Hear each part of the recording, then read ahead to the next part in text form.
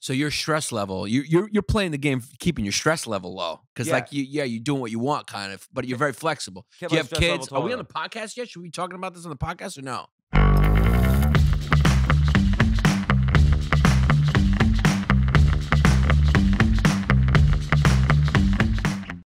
I have well now I have five kids because my wife had three. I have two. Um, but my kids would basically say, "Where are you Airbnb this week?" They would see what stores are around and they would decide if to visit me or not. So Right. it was great. And then Yeah. they would come over. I would be busy. They'd go to the stores or whatever was around, and where if I would hang out with them and we'd check different restaurants out. We would all explore a new area together. Yeah, And yeah. I lived in like every area of New York City. I lived in California, Florida, all Austin, all over the place. So they're they're enjoying it too. For they're seeing the Yeah. positive as and well. your yeah. kids, your kids would, and you always saw your kids. Like Yeah, I never always went saw 'em. months without seeing them or anything. No, no, they I had them every every other weekend. I had them, or I would visit them where they lived.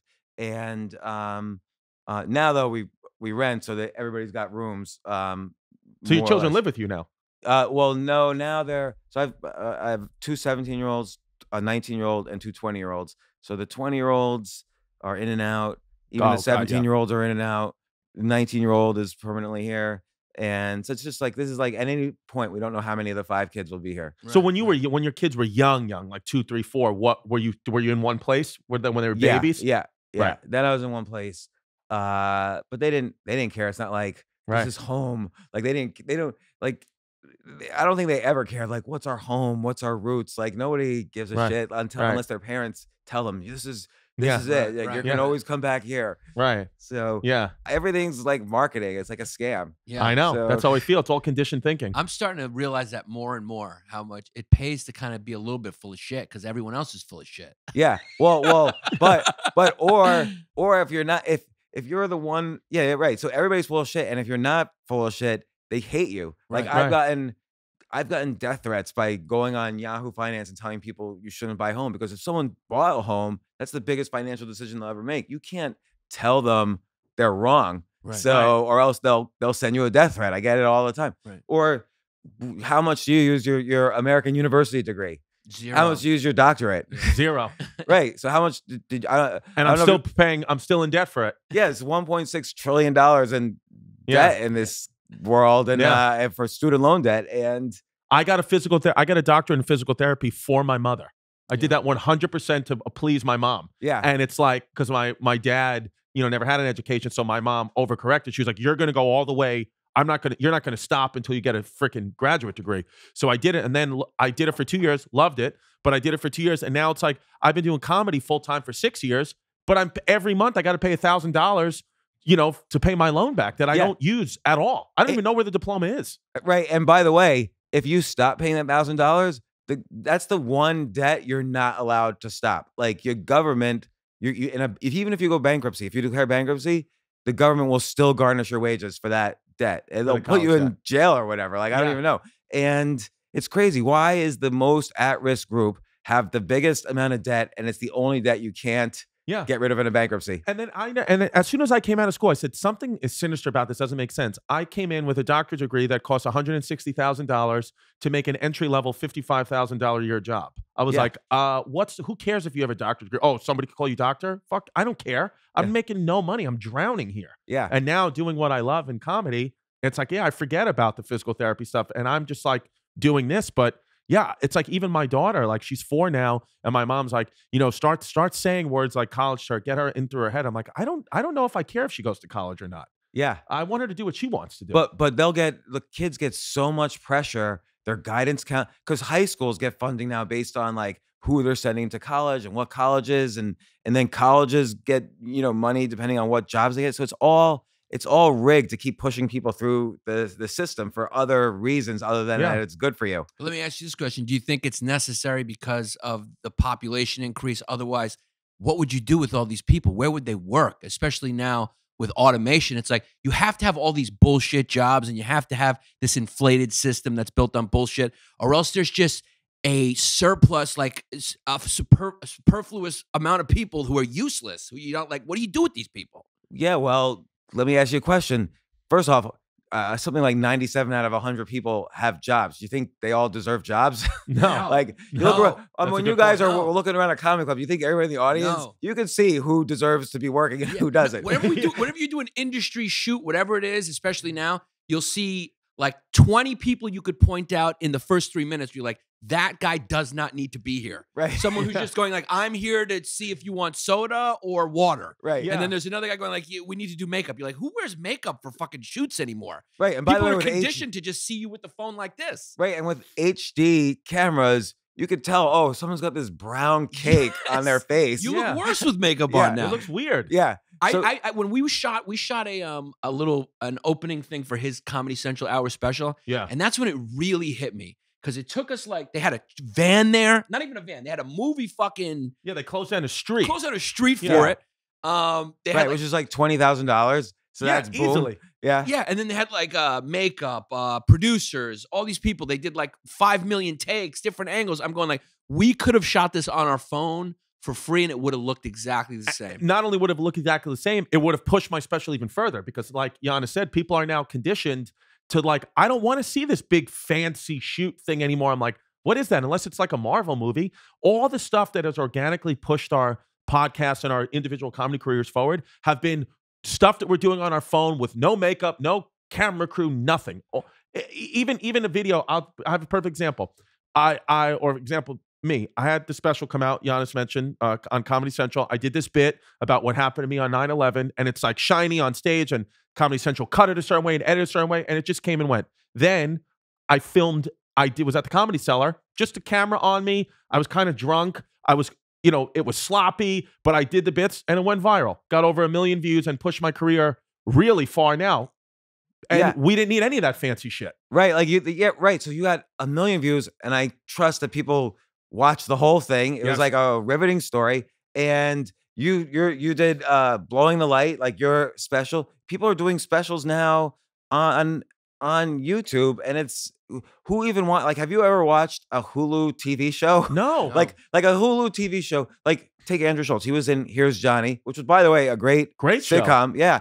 And I'm the only person other than you guys now and Andrew who's ever even heard of that show. I only watched it because I personally knew Andrew, and I only I only knew about it because I love Andrew's Instagram. Yeah. So like I didn't. Yesterday, Yannis and I got hired to do videos uh, to promote this new show called Miracle Workers on TBS, which seems like it could be a good show. But we were like, they rented out this big space, paid us to do this, and we were like, you're just flushing money down the Yeah, toilet. nobody's, gonna, wa- watch the show. gonna watch Yeah. The people here, like you know, like it's already in its second season. We thought it was the first season. Nobody's even ever heard of it. I Right. we even asked somebody there. We were like, "Have you even seen the show?" And they were like, "No." And I, we were like, "What were you doing? What are you doing here?" And they're like, "We're getting paid to be here. We're influencers." I'm like, "This whole place is being Just paid to be here." By the way, just me- put it on the phone. It's all bullshit. Yeah. because everyone who's saying they're here watching the show is doesn't even know what the show is. it is. I heard about the show yesterday when they paid us to be there. Yeah, but watch Miracle Workers on TBS because Yeah. the check hasn't cleared Yeah, yet. So yeah, please watch watch, that show. TBS. I actually do need the ch- money. It's the best show. I mean, it's got Daniel Radcliffe in it, Yeah, and it's Harry so Potter. good. Yeah, it's so good. But yeah, Yeah. but yeah, right. It's got it's got all these people. Like again, think of that show. Here's Johnny. It's produced by Paul Reiser. It's about Johnny Carson. It's got all these people in it, Yeah. and yet nobody has watched it. And over a million people have watched. You know your 9/11 story. You, people are watching. You know, blowing the light. Everyone's every. You could create. Your people are watching your podcast. They're not watching some No. AM radio talk show. They're watching No. your podcast. Oh, we, we're f- selling tickets now, like theaters, and for the first time in my career, like our, our careers, we're really so, well. Yannis sold, but even when Yannis, when Yannis was selling a lot of tickets, it was all off YouTube, no Yeah. TV show, no TV credits. It was Nobody cares about the sitcoms anymore. Yeah. It's like you why not you can make the money, sure, fifteen, twenty thousand dollars an episode, that's great. But if you want visibility and you want ticket sales, which gives longevity, which is that that's what we want, is not TV at all. Doing a podcast like this and you putting it out and your name gets us so much further than if we did the Tonight Show. yeah, no, like, you I, know, I, why I, didn't the entertainment industry? Why didn't someone in the entertainment industry like do a Tonya Harding on this technology? Like when it was coming out, someone should have been like, "Hey, this is not good." I think they probably thought of it, but they kept they kept thinking, ah, it's gonna be not. I mean, you've met TV executives, Sure. right? So who's thinking, wow, we really we really better do something? I'm my brain is telling me that this YouTube thing's gonna be big. Like they No, didn't say, they didn't see it. I, I say I think the smartest people in comedy are comedians. Yeah. That's what I think. I think the smartest people I've met in the comedy business, that's like people adjacent, producers, TV people. I'm always like, and I meet a comic, I'm like, this guy's a lot smarter than the meeting with the people I just had. You know? Yeah, because think about it, how TV is structured. Someone who's, and by the way, we're all pitching TV shows probably, so Yeah. This is not about mean- anybody we're actually meeting. piece. It's a character piece. You know, this is my friend Patty Mulrooney. so so if you think about it, everybody, someone has to choose you to be a, a comedian on some sitcom. There's only, you know, out of like so many working comedians, only like 12 will get chosen for different things. And and how are they gonna choose you? Yet you can you can do stuff on YouTube whenever you want. This Sure. we could just op- put up some mics and do a podcast and load it up to Apple, Google, whatever, and people will listen. If you have a if you're funny, if you have a unique voice, if you have something unique to say, uh, you guys have done it over and over again, which is you've chosen your own career as opposed to wait. Well, I hope this ABC executive chooses me. Yeah. Like, you No, you don't have to wait anymore. Like I go do the auditions or we go do stuff just like for fun and like little cash grabs. But the real work is our podcast and the organic stuff through Patreon and through the things that we're doing on social media. That's where I'm seeing the ticket sales. Like I'm seeing it. Like we we just we go on these when we went out to Los Angeles. We go we went on all the big podcasts out there and we saw our numbers grow. The only one we didn't see our numbers growing, and it's no fault of his own. It's just the system. Is when we did Sirius XM in LA. We did Netflix radio. We didn't get one follower. And that was the biggest production. They had cameras everywhere, elevator, people taking you. You have a green room and guest room. It's all smoke and mirrors. Nobody gives a shit. When we sat down on the couch with the fighter and the kid with Bryan Callen and Brendan Schaub in a very nice studio, but like, you know, we drove there ourselves. We sat down, they put the mics on, no fancy shit. We got thousands of followers Yeah. and people buying tickets left and right. Yeah. So most of us, like we know in this room and the Andrew Schulz of the world, we know where the new world is, but most of our peers are still conditioned to think they want to have a, a viewing party because they did the James Corden show. It's like, that's fine. Absolutely, that's fine. I'm not shitting on it, but it's like, if you think that's going to do anything for you anymore, to be on any network or anything like that, I mean, you're mistaken. Like you're 100% mistaken. You're gonna you're gonna drown in this new wave. yeah, you By know? the way, thank you for being a Patreon member. We appreciate Yeah, I it. appreciate it. Yeah, look, you- buy that million dollar episode with Tim Yeah, Dillon. The Secret least we can Okay, do is what- be here. what happened and if you Tim need Dillon anything else, we'll do it. We'll pick up your laundry, whatever you want. the Tim Dillon episode, it was one of those things where if I got to be honest, it's on our Patreon, patreon.com slash Bay Ridge Boys.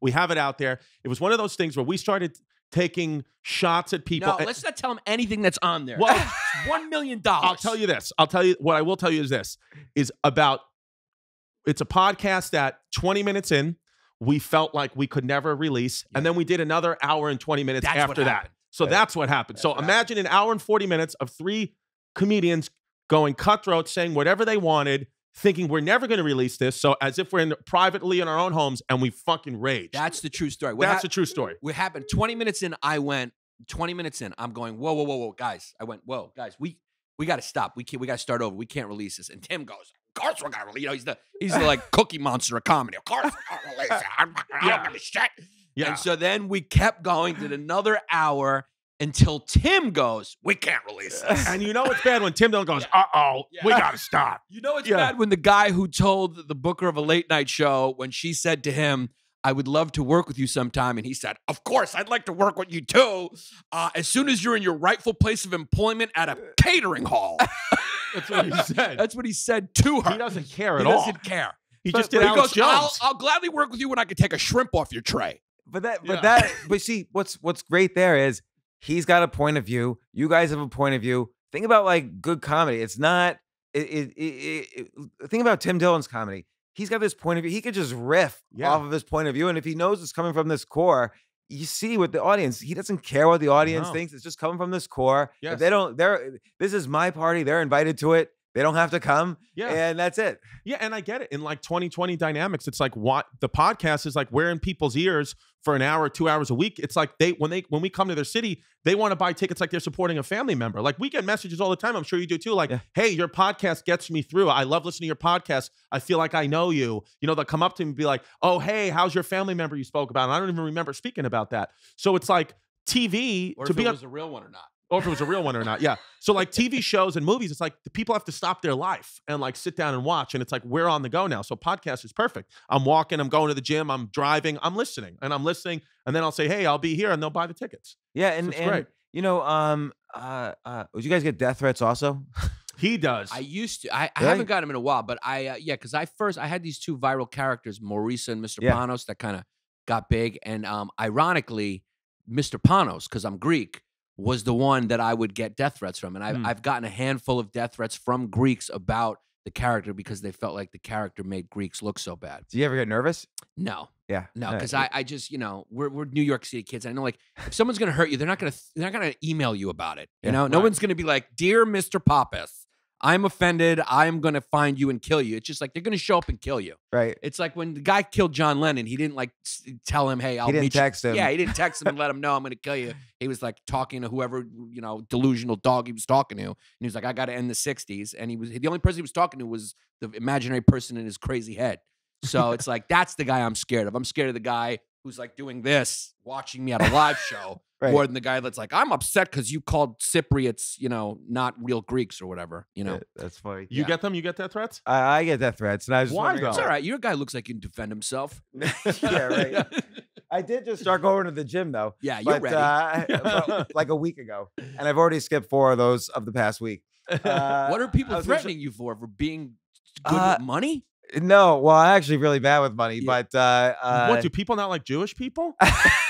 When did that happen? I didn't know that. Gee, that's news to me. I, I have got a few of those. Like I got one the other day that the guy like rambled for a while, and he was using my name, so he clearly knew he was texting. And then in all caps, he's like, "My priority in life right now is you are going to die." Jesus. And uh, and then he sent the message the next day, the next day, and finally I had to write back, and I said, "Listen, I had to. I was just making this up. I had to report this to the FBI. I'm sorry if they visit you or whatever." And he st- suddenly said, "Oh no, I I was the wrong number. I had no idea." And I'm like, "Well, you used my name and my kid's name, so I don't know Yeah. what you're Wow, talking he about." Had your, he had your kids' names Yeah. and everything. And uh, but you know, it happens. Why why why do I get uh, death threats, Steve? You get death threats for a Because variety you- of reasons, because I think, as I mentioned, the way you look, the way you talk, like because I'm ugly crypto- and- no, you're handsome. I mean, uh, I think you're handsome. I think you're a cute. I'll fucking kiss you kid. right on the lips. It's the Jake. first thing I thought. I was like, he's a cute kid. the turtle looks fast and past the rock. right? It's great. Um, you know why you get death threats? I mean, the crypto didn't help your cause. Um, Did not help the cause. Yeah. Um, I like that you got three producers and nobody's got their shoes on. That's the that's the new world. Audio, that's the guy you're video. related to. Steve, Steve's the producer. He was a producer for 30 years on TV. Yeah. Made the right choice finally. Yes. Moved to the podcast world.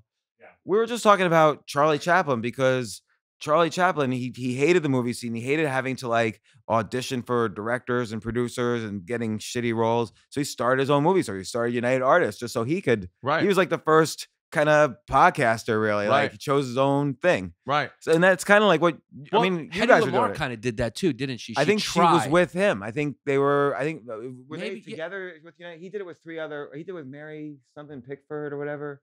I don't know who he did it Well, with. let me just say this: if anybody's threatening James Altucher, you're gonna have to fucking deal with these two beefcakes. Absolutely. This Yeah. kid can throw hands, and I bite. Yeah, So good yeah. luck trying to get to him through us, because we're a couple kids from the outer boroughs, Yeah. and we know how to throw hands. I'll hurt you physically and he'll hurt you emotionally. hurt this you kid can really dig deep with his words. Yes. And- He's a bitch. and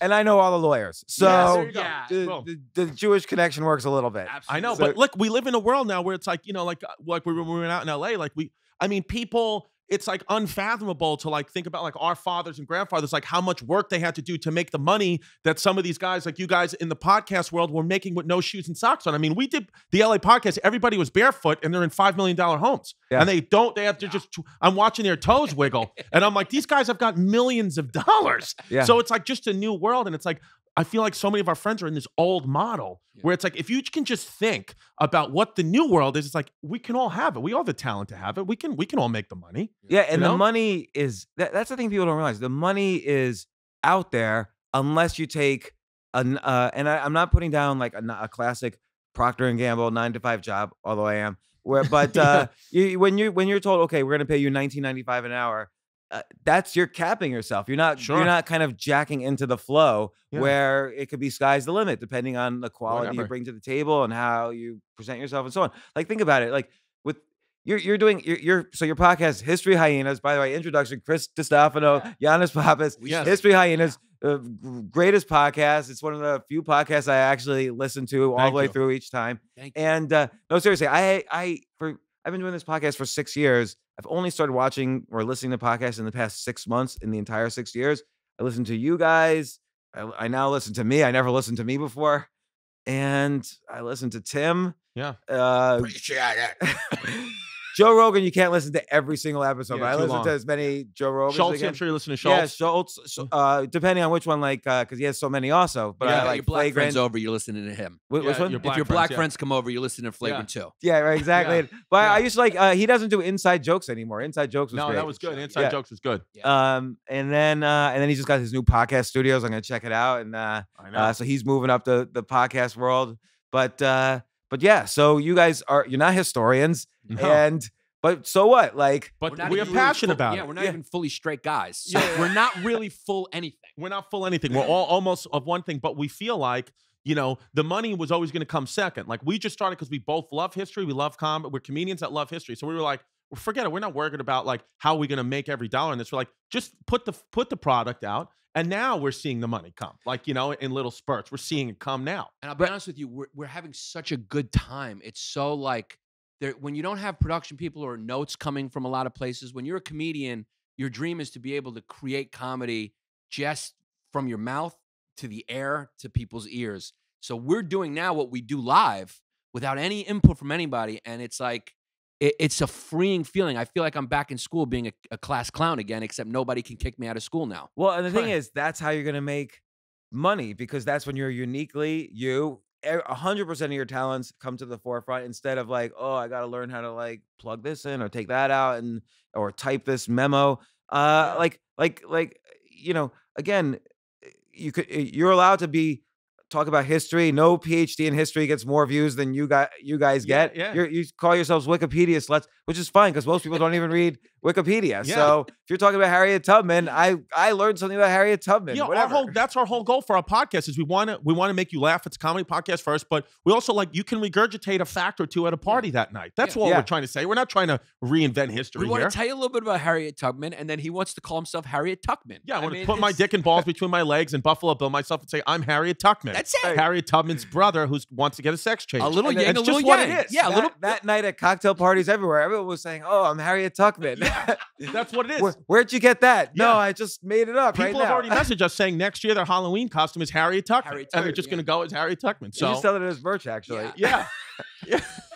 so that- it's like that's what our podcast is. But we learn a lot of shit too. Like we'll discover, especially uncomfortable truths. We learn a lot about that. We learn a lot of stuff where you're like, oh, wait, society says this and the news says this, but if you dig deeper, here's what actually happened. But it's not palatable and sexy that that happened. So Well, they know, move on. It's so easy in this era to because it's like uncomfortable truths now are considered uncomfortable truths now because liberal arts education has gotten so overly politically correct that they sort of gloss over a lot of those ugly realities that we know are true just because we live in the world now and we know that's what the world is. So of course it always was that way. Right. You know, nothing's ever purely one way or the other. It's always sort of like Yeah. these gray zones and that's what that's what history is. And you talk about marketing campaigns, like we learned a big one. You know, I read this book, 1776. You ever read that book by David McCullough? yeah, yeah. excellent book. And then I did what I loved about it so much is it was from he did most of his research from the British British point of view, and then I read some more books associated with it, especially stuff about George Washington and like even the whole idea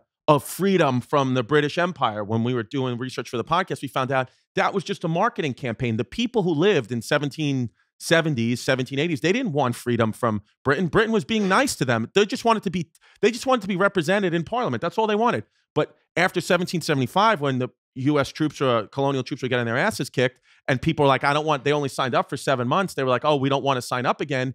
George Washington, Benjamin Franklin, all the great thinkers of our time were like, "We have to give them a rallying cry to stay." So they came up with just one night in a cabin. They're like, "What if we? What if the new pitch is let's get freedom from England? Let's be. Let's get our own independent, sovereign nation. Let's do that." And most of the people at the time were like, "We don't want that," but it was the only thing that they could do. And then they started circulating all papers and pamphlets and were like, hey, we're going to be free. So people started to be like, okay, let's be free. Even though that's not really what we want, let's be free. And then when the war ended, it didn't end because the mighty colonial army and the French army overcame it, overcame the mighty British army. The British army could have stayed another year and destroyed them. They were like, this isn't worth it anymore. They're like, we're losing money on them now. Let's we we own so many other colonies and we own, you know, we own Bermuda and we own other places in Europe. Let's just leave them alone, give them their country, and we'll go back to England. It's fine. But you know, as a schoolboy, you learn that Paul Revere and Right. the little ragtag army overcame them, and none of it is true. It's just been a, it's a marketing campaign. Well, and also what always strikes me interesting, that war lasted a really long time. Yeah. Like it was going into the mid 1780s. Like we think, oh, we declared independence and suddenly no. we're free. Yeah. And it was it was going on and on and on. Kids were dying in Hell the yeah, winters. it was fought more than just the colonies. It was in the South America. It was in it was in uh, parts of Canada, and it kept kept going. yeah. You know, and so many people got dragged into it. Really, from kind of, I mean, I don't want to say nothing because obviously we got our independence, but I just thought as a kid, oh, this is. I was told one story that's just simply not true. It's just so many years have went by that the new narrative is this, but that's not actually the truth. Right. And they say they say history's written by the winners, but I think also it's really only a small percentage of the winners that are actually writing it. So like the the Boston Tea Party, that was totally just a marketing Sure. thing. Like I don't even it wasn't really that, oh, they were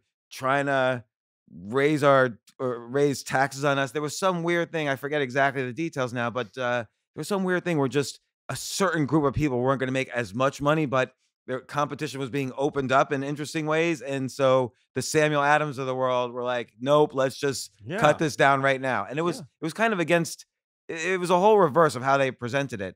But Well, what they mobilized the people by saying like they're trying to hurt you, but it's really like they're hurting me, and I need you to fight for me. yeah, Right. exactly. And then That's and then it is. actually, what's even the benefit of U.S. independence? Like, yes, we did fight for something, but okay, Canada didn't fight, and they're pretty independent now, and Yeah. Australia, New Zealand, Yeah. countries are bigger than the UK in a lot of ways. So, sure. uh, I mean, now the UK is going to lose Scotland. Probably they just lost. They're going to lose Ireland. It- Yeah. It's basically a tiny little Yeah. thing without the wars. Yeah. So. I don't know what, and then the and then UK also freed the slaves before US did, so Way ma- before. like Yeah. 1831 or something. Yeah. So Yeah. why did we even fight that war? Oh no, I- I know. Even in i- when I was reading that 1776 book, that was one of the biggest things when British soldiers would go over there and they would report back to the you know their superiors who were in England. They were like the biggest atrocity that they're seeing in the 13 colonies is the slaves. They're like, I can't believe they're doing this to these people still. So it's kind of like where we were more like the bad guys to the British. They were like, why are you enslaving these people? What, what why would you do that? Like by the time, you know, we wouldn't have slaves fighting our armies for even in World War II, it was like, oh, a black unit.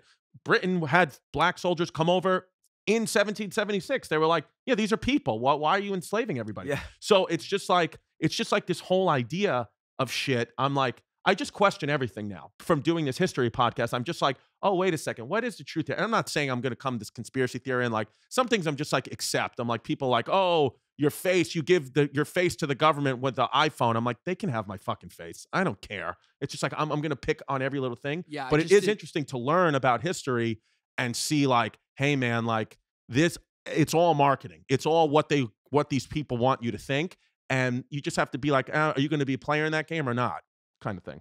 Yeah, because look at look at like uh uh you, you know World War II. You can say there's a lot of reasons. Okay, Japan was this, Germany was this. Germany's has all is slaughtering Well, everybody. always getting weird. The Germans are always Germans getting, getting weird. weird. You always got to keep your eye on those kids.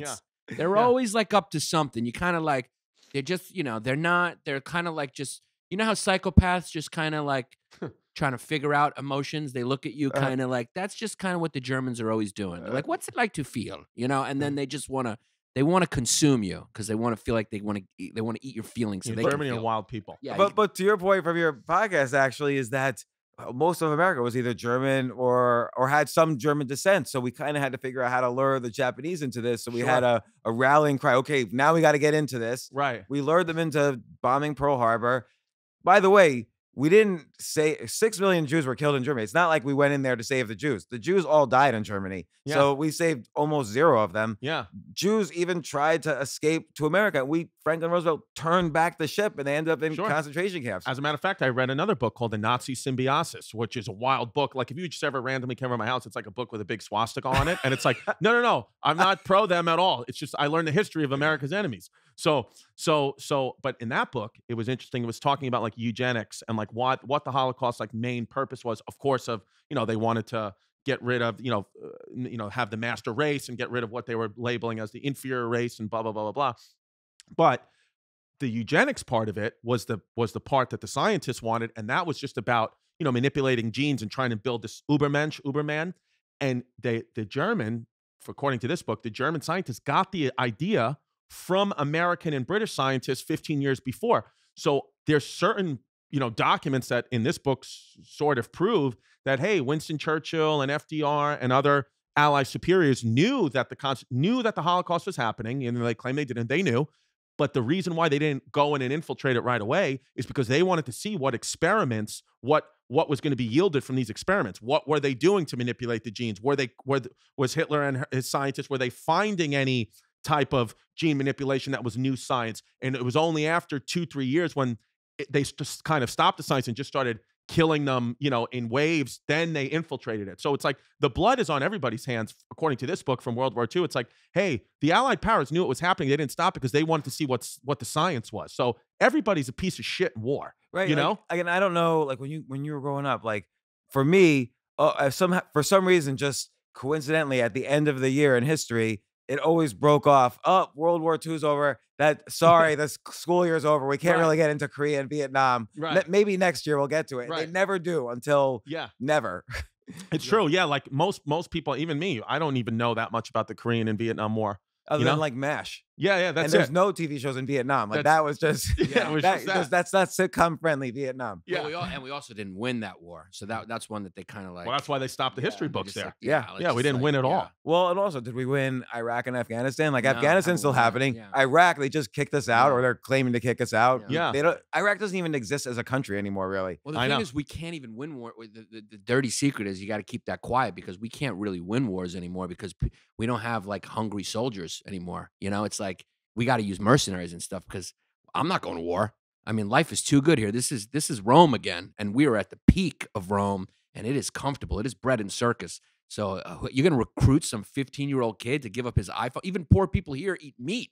You're going to tell those kids to go die for you in a foreign land? It's not going to happen. Yeah. But you know, uh, you, you go to a third world country, they're ready. That's why we, you know we're about to get rolled over by the Chinese. They're coming. Oh, the Chinese are coming. Yeah, they're Well, coming. We oh, we had on a- Inside and out, they're gonna beat us. There he is. He's got. He's ready. This Coming. you got one in here already. Where the fuck did you come from? no, Jay's Jay's from Malaysia. We'll protect Jay. Yeah, well, Yeah. we're from Brooklyn, so it's all Chinese to us. Yeah, we don't fucking know the differences. Just joking. Yeah, Jay, just Jay and Ronnie Chang speak the same language. Yeah. so Oh, it's all- okay. yeah. Ronnie Chang's, I don't know. He's I Chinese to me. But the Chinese are doing great. They're hungry. They're like they're like America was like in the 50s and 40s, like hungry. right. Immigrant, you know, they, they're hungry, they're coming up, their middle class is growing, and we're just sitting there going, like, you know, what's going on?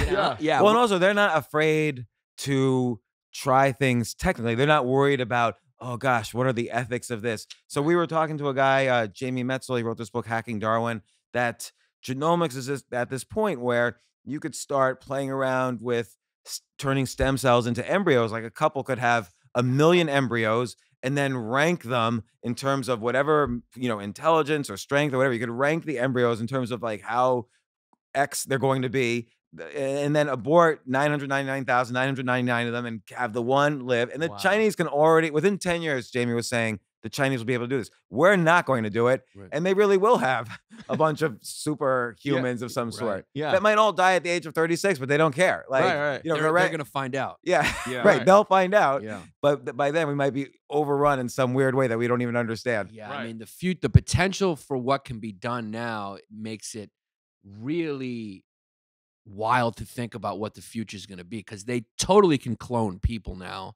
Yeah. You can sort of make a cyber like, but they could probably implant like, you know, intel artificial intelligence into you.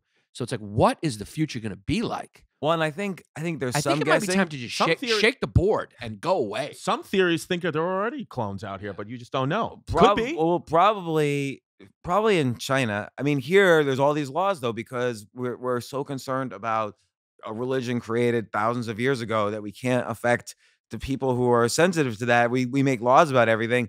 China's just going for it, like on Yeah. AI, on genomics, on stem cell research. They're just. You know, we had Kai Fu Lee, who's a big uh, AI investor in China. He he was like, "We're already dead on AI in China." Some people disagree, but there's no reason why they can't pass us because we have laws. You know, you insa- right now the whole facial recognition thing, we're not allowed to do it, but they're they're doing it. They know where everybody in the country is. They're putting uh, social scores and everybody like how uh, much of a good citizen is this person versus this citizen. It's like uh, they're giving like everybody an Uber rating and then acting accordingly. So I don't know what effects this will have on our future, but we just do things so cautiously. Right. We're like afraid to experiment. Right, right. Well, Yannis talks we're about- burdened by bur- burdened by morality. I mean, it's uh, you know, it's like 'cause those things do come with ethical questions. No. Yeah, they, Yeah. they do. So you have to ask, like, is it a healthy thing? But but at the same time, while we're figuring that out, and and and I'm not saying it's not worth it to figure that out, but while we're figuring that out, they're gonna have the million embryo baby, Yeah. and Right. Yeah. So- But also feels like that's like the next frontier. It's like, what else can we do as a human species? Like we've Yeah. done everything that we Yeah. can do. So Yeah. feels like that's the next thing is well, now you play God and make people out of not, you know, the miracle way. You make them in a lab. And it's Yeah. almost Mhm. ironic that the farther technology has gotten, the more it's kind of reverted or come full circle to what it originally started as. Like this is a radio show essentially, and now podcasts have become sort of the premier way Mm-hmm. people consume entertainment, and that's what they used to do when like the radio was invented. Yeah, when the So- Yankees Right. were winning those World Series in the 20s and 30s, it was the radio. which you is know? wild to Yeah. think about how far it comes. It's kind of come. It's kind of. It's almost like you know the universe. The farthest point you go, you're back to where you started, well, well, think about how you which is why I think we're over. Well, well, and think think about how you communicate too, though. Like how lately in the past few years, people now are go- getting back to texting everybody. Like my kids just text; they don't even use email. So email was like going to be it, and then there was you know web stuff and Right. this and that. But now just everybody's just back to oh SMS text. Like did you uh, did you text them? And we don't even really email as much anymore. Yeah. I know. Pretty, I pretty noticed, like- soon we'll, we'll send a bird to each other. Yeah, Yeah. I know. I notice even like in emergencies, like people will like text, like house is on fire. It's like fucking call, Yeah. pick up the phone, Yeah. you know. But people are don't even are conditioned to do that. Did that. you not get my text? No. yeah, Right. And Yeah. texting is the oldest thing. It's like Morse code, like was older than the phone. So Yeah. you know, I bet you most people's phones, the least, the least, I the icon that's tapped the least is the call button. right. People, I mean, there's times where my phone, I don't call anybody on my phone for days, but I'm communicating with everybody. Steve calls me a lot, but I never return his call. So. I don't like to return. I don't like to talk to people on the phone. Like it's awkward. I don't yeah, know. I'd rather just yeah, we could communicate. I mean, that's what they were saying. I was reading another article about like how like STDs and like um uh pregnancies on like the first date are like the highest they've ever been because especially young people are communicating through social media or texting for weeks before they meet. They've already given up all their secrets about each other. You feel like they know each other, but they physically actually never met. So by the time they actually do meet, first time they're having unprotected sex and it's leading to problems because they, you know, because you, because if we're, if I'm commu- talking to your phone, I'm really talking to you. I mean, a phone's a part of us. So I was reading that article like, wow, that's fucking really, really, really interesting. But I get how it makes sense now. yeah. know? And uh and and to your point also, is the uh, you know podcast not it's like it's like it's almost like a bad radio show right and yet this is the way like joe rogan is the most popular Yeah. most consumed media on the planet with the podcast Well, and Look at that girl Lilly Singh. The Lilly Singh Yeah. who's got who's got a, a show on NBC like a like a late late show that's a major network show. Her fans think she's a sellout because they know her from YouTube. And they know her from the not shiny stuff. I think that show also is getting canceled. I think it wasn't getting the ratings. She's the most popular person on YouTube. She had billboards all over New York City. It was their YouTube experiment in uh, mainstream advertising. She was huge. She is huge on YouTube, but somehow the show, TV doesn't work. And yet, when you get called onto the stage for comedy, they'll say you've seen him on the Tonight Show or this Right. show or that show or Right. opening up for Lilly Singh or whatever. It's it's they won't say oh you've seen him have a million views on this No. one YouTube clip.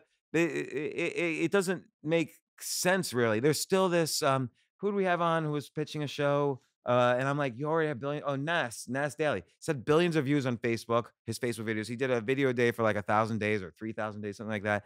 And he had billions of views. Each one gets like 10 million views now at least. He can't get a TV show on, and I'm like, why are you even going for a TV show? And he's like, there's still that. There's still that brand thing happening. like it's yeah. it's like a market. It's again, it's like a marketing scam that where we think if it's on that screen, it's more important than if it's on the smaller screen. It's conditioned thinking from conditioned thinking. from that era. That's like there's still fumes running from that era. yeah, Yeah. those LA comedians who we met, like you can't pay Joe Rogan to, to do a TV show. Why would he do that? Yeah. He would lose money. Or most pe- most of our most successful peers in comedy specifically, that's all we can talk about because we know it, would lose money doing a TV show. Yeah. The real successful ones. I mean, they would, you know, they're making sixty thousand dollars a day doing their podcast. Yeah. Some of them way more. Yeah. And it's like you can't make that doing TV. Yeah. You know, no chance. they're- And, and they'll be seen by way less people. and they're making Yeah. so much money live from that exposure from their podcast or their viral videos or vlog or whatever. I mean, I think what's happened is because seeing someone on a screen is so commonplace now, it's kind of reversed. Whereas it used to be, you know, seeing someone on TV was the unique thing because there was so few channels and you had to be one of a select few to be on it. it was so amazing to see. Now it's commonplace. You see everyone's on a screen. It's more often you'll see somebody on a screen than you will see them in real life because everyone's looking down.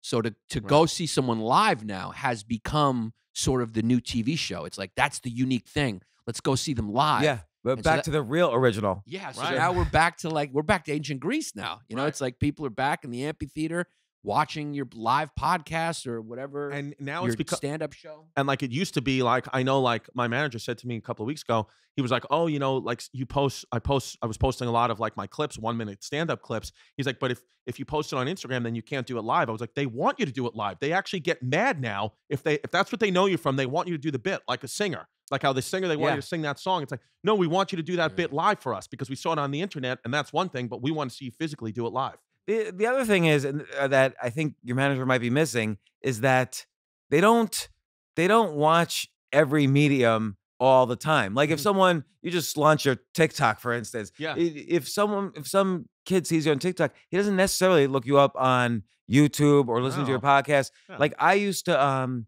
this was even like 10 15 years ago. I used to lot, write a lot about finance stuff. I would put the exact same article on Forbes, the Financial Times, the Wall Street Journal, and even in a book where I can't take it down in a worst case scenario. Not a single person ever said to me, "Didn't you just write this Yeah. last week for Forbes?" Zero people said. Editors didn't say it to me. yeah Uh, readers didn't say it to me. Publishers didn't say it to me. No one knew that I was taking the exact same words, word for word, and just putting it everywhere. yeah And, and I'm not saying that's because people are stupid. It's just that they have their lane, and that's what they. th- You want to spread stuff around because some people only watch TikTok, and they're like, uh, "Instagram's over," or or nah, I don't want. My kids will have one platform, and they'll say, "Nah, nah, Dad, don't do those other platforms." But they all have a different platform that they Right. watch. Yeah. So yeah I get it What's interesting to me is that that really concerns me though is like a lot of the audience when you meet them, you meet audience members, the majority of them, they're like they're also aspiring podcast or comedians. You're like, does anyone work any? Like, Yeah. what are we all doing? when I when It's I like, what do you do? They're like, I'm, I got a podcast. I'm like, what is your podcast about? They're like, we met some girl last night, and she was like, it's about, and then she started talking, and I didn't know what she was talking about when she explained what her, what her podcast was. She was like, she was like, it's about health. You remember? She was like, it's, it's about health, health, but it's not like about health. It's about like we critique people who are about health, who tell you about health, who are doing it in a self help way. We kind of talk about were like, them, and I'm going, what are you talking? I'm like, what kind of twilight zone are we living in that your podcast is a podcast about other people who have podcasts who are podcasting self-help things to you so you can create a podcast and learn how to be a podcaster. I'm going like this is getting and it's got wild. 25,000 views on it, uh, 25,000 I mean, followers on Instagram. This is so, just like a circle That's funny. jerk of like of we're trying to entertain each other. well, like I remember, I remember when I started stand up in like 2009. Stand up New York is one of the first places I did um an open mic at, and I remember I was working as a it's a horrible open mic. Oh yeah, So- no, but but but you want the shitty ones in the beginning. Okay. You really want those ones. That's what you want. You want mm. it to be like five o'clock and there's six people in there, and the other only six people are other comedians that hate you and don't want to listen to you. Because if you can make them laugh, it's either really dark, too dark for a regular audience, or it's just a good good joke and you're like that. I can keep it. But I remember going there, and I would get out of work at three thirty from downtown, come up here, get up here by 4:15. The open mic started at five, and there would be a, like a 10 person line. So you'd sign your name up, and maybe maybe out for the whole three hours, 20 people would come to the open mic, and that was a lot. We were just in Los Angeles. They were saying now at the comedy store, and I'm sure it's the same at these at open mics here. There's a five hour wait Oh to, my to sign up at the comedy store. And it's like so so that was jarring to me because like the amount of people that want to do this now, it's like the that what the fuck? How can everybody do this? Well, they can't because I think there's like take comedy as an example. I think there's five thousand people who will say who will list their profession on taxes as comedians. Right? There's 50 Netflix specials a year, so that's only one percent of those. And then there's some podcasts that make money, but there's two million podcasts. The average uh, podcast gets 200 downloads an episode, and so no. To your point, nobody's making money at any of these things. So they're just doing a lot of things and seeing what hits, and then they work at a candy store or whatever. I don't Right, know. right, right. So who Yeah, knows? that's, that's true too. Uh, We, we, we, we've, we heard that too, that only 1% of all the podcasts in the world get over like 15,000 downloads or something like that. yeah, I would say even even less than one percent. I mean, Well, that brings us full circle to like the need for bullshit because this bullshit employs so many people. yeah, If you cut it down to brass tacks, you could probably cut 70% of every workforce now with automation because just robots can do everything.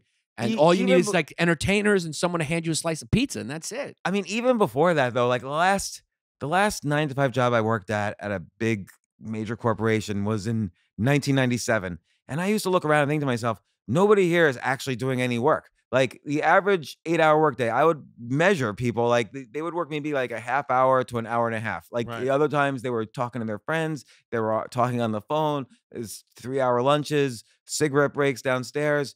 There was eh, people people in general don't really work. It's just they're just a- a- and then I think the financial crisis came along and every CEO was like, phew, now we have an excuse. Let's just fire everybody who we wanted to fire for the past 15 years. Right. And then then ever since then we've been kind of trying to come back from that. But yeah, a lot of people left the workforce, a lot of baby boomers retired. So I don't even know if it's automation like and I feel like I talk And too much about Andrew Yang, but like everything's like overseas. uh, yeah, everything's overseas and automated. Yeah. But Andrew Yang goes on about automation and he, he mentions how 80 to 90 million people have left the workforce in the past 10 years. But a lot of that's just baby boomers deciding, eh, screw it. I'm not gonna, I'm not gonna work anymore. I'm retiring early. Was earlier than I planned, so I'm gonna move to Kansas City or whatever. Kansas City's a great place. I'm not offending Kansas City. But uh I've Yeah. never been to Kansas City. I don't know. Yeah. Yo, okay, wait, side story. I was at a, a dinner. It was like a networking dinner, and this guy comes up to me and starts talking, and he has like thick white hair. He's the only guy in the place in a really like nice suit, but it was like a blue suit and a red tie. And I said, you know, you should be a politician. You look like a politician. And he's like, well, how did you know? Did someone tell you? And I'm like, no. And he says, well, I'm the governor of Kansas. And uh, Wow. and so then he sits next to me and he's like, you should really consider Kansas. Like for, you know, $300,000, you get a six bedroom house. And uh, I'm like, all right, I'll consider it. But yeah. yeah, you could just tell. That's what I'll do is consider it. Yeah, yeah. Yeah. yeah. It's the thing. You got to be in Kansas.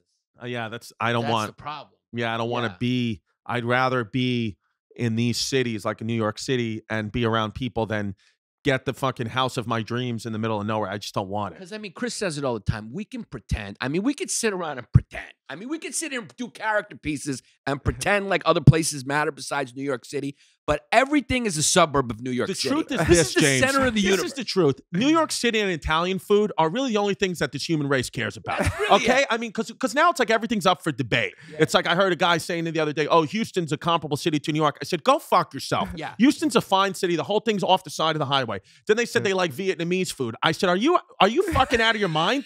Vietnamese food." Yeah, it's fine. But every time I've eaten a Vietnamese sandwich, I'm like, you know what this needs? Sauce. Yeah. Then it'd be great. You know what it needs? Food. Where's Yeah. the food? Where's the fucking food, Where's guy? the food guy? It's grass. I can't Right. eat fucking grass and seaweed. I need a piece of meat. I need Italian food. It's Italian food. If the aliens came down, we're not serving them Korean barbecue. No, I like Korean serving barbecue. Italian food. It's very good for once Yeah. every three, four months. But if I had to go four days a week, I'm getting chicken parm. Everyone knows it. Let's stop The most. American food we have is an Italian food, and the most American mm-hmm. presidential candidate we have is Andrew Yang because he was made in China. That's That's right. what it is. yeah. Yeah. You don't get truth to all than that. Just all- Yeah. But, but like, do you ever have people come up to you and say, "Oh my God, you're paying this rent in New York City for this? You could get X in Cleveland." And Yeah, it's Fuck like, that. "Look, guy, I know you live in Coral Gables. That's fine. You're paying, yeah. you know, you're paying hundred thousand dollars. You got a fifty room mansion. But guess what? There's also a chance an alligator, ca- an alligator can eat your baby. Uh, yeah. So I don't want that I don't either. want that. I which, don't by want. the way, could happen here too. Yeah, it can, it can happen here, but you know what? Yeah. There's alligators just crawling around like cats down there. Yeah. So I don't want that either. I don't want somebody who's who's on bath salts, mm-hmm. you know, attacking my child while he's going to school. Right. So I'll stay away from Florida, and you can keep your hundred thousand dollars forty room mansion. Yeah. I'll live in my shoebox in Bay Ridge because I live close to good Italian food. It's what it is, and the rest of the country's on fire anyway. It's all it's on all fire. on fire and on fucking earthquakes, like Los Angeles. Like the country's on fire. What the fuck are you doing in Los Angeles? The God, city's on fire. Yeah. God does not want people living there. It's built on a on false streams and a fault line. What are people doing? No, got to stay in New York City. Yeah, and But- plus, Los Angeles was built by New Yorkers. That's the second most important city. Uh, Miami was built by New Yorkers. I mean, what city New York Jews, Miami, New York Yeah. Jews and and what and Los Angeles, by the way. Yeah, I mean, yeah, look, it's like nobody care. I mean, it's like you know, we could play pretend and make believe that people care that you you know you want to write a story about being from Iowa City. Fine, nobody fucking cares. yeah, just fucking It's- is it wrestle from New and York grow or corn. not? Grow, just wrestle and grow corn. Yeah, And we want you to wrestle because we want you in those tight clothes. yeah, because I got yeah, because I just pushed down the gate. That's why I got big triceps. I'm just waiting for my dad to tie, die to fully come out of the closet. Yeah, I mean, but it's funny though. My uh, Veg- uh, Vegas, Miami, and LA are the three most fun cities besides New York. and they were just all built by New Yorkers. They're colonies of New York. They're they're kind of outposts of Yeah. New York. Yeah, no, and um, the one thing about LA though, I don't like the four seasons. Like, I hate winter. I hate, and I hate summer. Yeah. I just like to stay in the apartment and never move. Yeah. I hate So- summer too. Well, if I, hate lived the in this heat. Too apartment. I'd want to stay in here too. Yeah. I mean, this you gotta- is a fucking compact. You got a, you got original Miros on the wall. I mean, Jesus Christ. Yeah. Potentially, we don't Yeah. know. We uh, don't know. we This, did. this is a nice place. You could tell this is like 30 years ago, well, maybe 60 years ago. I mean, some racist shit. When there were slaves in here, you know that the help was not white in an apartment like this when it was first built. Well, you know, that's why a lot of old New York buildings, there's small rooms as the penthouse. They call it the penthouse, but they're like these tiny one bedrooms because there was no air conditioning. So those were the hottest rooms in the summer. Yeah. So that's where they did in, in New York City. In a lot of these buildings that were older, put the help was in the quote unquote. Right. Now they call them the penthouses and they Ah. charge extra for it. So- Interesting. Yeah. That's a nice fact. Yeah. So it's a good fact. It's true in this building. Yeah. Because if you go to the top floors, it's all like the the worst one bedroom, tiny, tiny like uh, one bedroom apartments with enormous rents, like the biggest rents in because they have the views. Yeah. So Fuck which is all bullshit. Yeah. Everyone Like that's the thing about views. Like if you look at something every day for three days in a row, you'll never see it again. Like you'll Yeah. look, it's invisible after that. Smart. Yeah, you Yeah. got yeah, yeah. We, you just get you kind of get spoiled and used to everything. But here's what happened. I think you know, uh, Long Island was created. People were trying to like white people were trying to escape minorities, right? That's what happened. So everyone went to the suburbs, and then their kids realized like, th- there's no fun out here. The minorities are where all the fun is. So every all their kids came back into the cities, and that's what gentrification really is. Is just those kids going like, I do not want to work at Panera Bread and hold, hand out a buzzer. I want to go dance with black kids because that's where the good music is. I want to hang out with Puerto Ricans. I want to hang out with Jews. That's where the good shit is happening. Oh, yeah. Because Germanic people are psychopaths. I know we are. We really are All right, they tried to take over my country. I, I sleep with one eye open with this guy. Yes. We've shared a couple hotel rooms. One night I woke up, he was standing over my bed. That's a true story. Yeah. That is not a joke. It's a true story. Yeah. He was standing over my bed and doing this. I don't know Yeah. what this means. I was but it was working my some- wrists out, and I, I, yeah, I would, I like to smell people's feet when they sleep too. I'm what he disturbed. He was sniffing my feet. I woke up. I saw this blonde hair, like big headed thing at the bottom of my, and I was sniffing my toes. And I Yeah. said, "What are you doing?" He goes, "I don't know." I'm disturbed. He's disturbed. I love no, I love especially like even like you know, my daughter's half Puerto Rican. It's like that's I agree with Yannis there 100. percent It's like you know white people. I was just like yeah whatever it's fine, but I want a fiesta a little bit. You know I just want to have a good time. As soon as I saw my kid's mom, she was gorgeous. She was dancing around. She had like a tattoo in her tit. I was like this is for me. yeah. I love this. I mean, they got they're good cerebral people, but let's be honest, we're all a little different, and they have no culture. They have White no we're food. talking about. We're talking about Germanic, Germanic Northern people, okay. European. Yeah. They got no food, no culture, no music. We went to Germany together to do sh- to uh, to hang out. We're doing shows there, by the way, which is gonna be fun. Yeah. But I mean, we went to like one of the premier German restaurants in Germany. It was hot dogs. It was Yeah. a hot dog. Yeah. Put a hot dog with sauerkraut and, and, and applesauce, and that was German cuisine. I said, this I could have got this at Shea Stadium.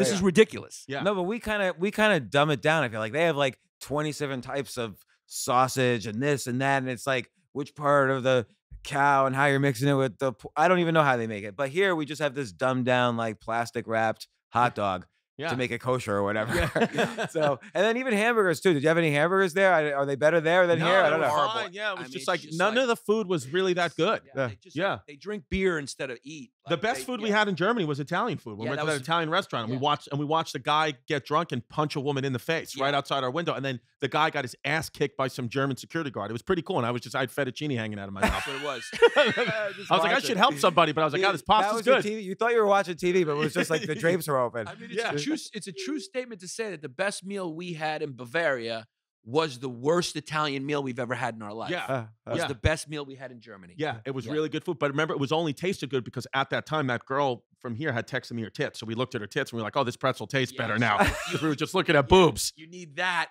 to help Oh, you. do we have to cut that part out for your wife?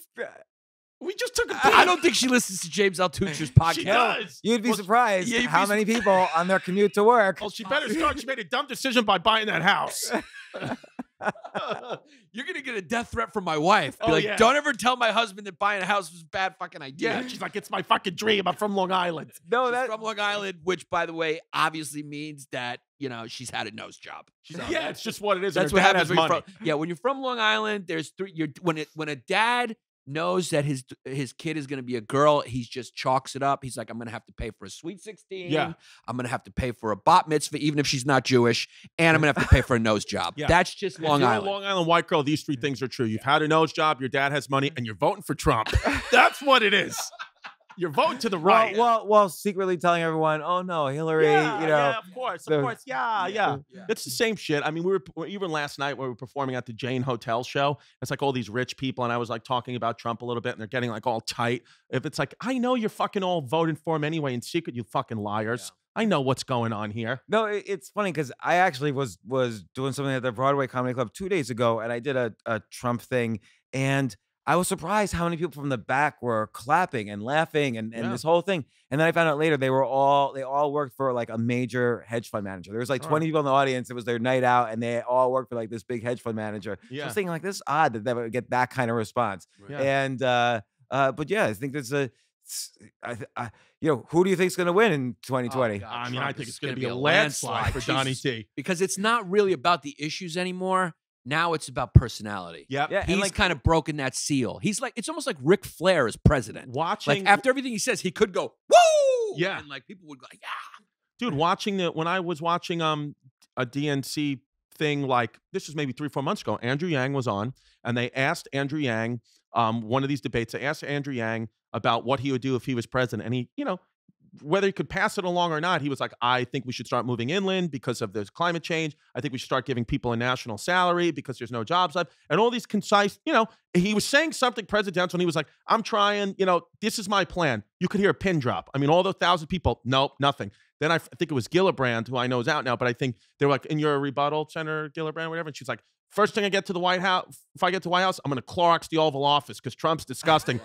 Place went nuts. Yeah. I was like, you know what? You just lost me now. Yeah, it's Uh, like Uh, watching. now I'm out. It's like Yeah. watching You know? an episode of Nick Cannon's Wild 'N Out now. It's like who can diss who the mo- That's why it's going to be like him. And the only chance on the left, I think, is um, it's got to be um, what's her name? Uh, Uh, Buttigieg? No, uh, the, Is that the, the only girl who hates? Amazon. I'm just blanking on Oh, her name. Kyla Ocasio Cortez? Kyla Cassier Cortez. Yeah, she's a monster.